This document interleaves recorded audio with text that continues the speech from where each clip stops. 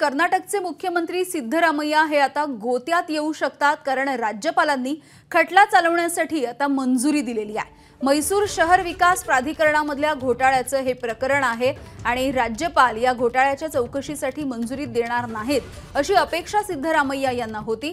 मात्र आता राज्यपाल थावरचंद गहलोत यांनी ही मंजुरी दिली आहे. त्यामुळे हा खटला आता चालवला जाऊ शकतो. एबीपी माझा. उघडा डोळे बघा नीट.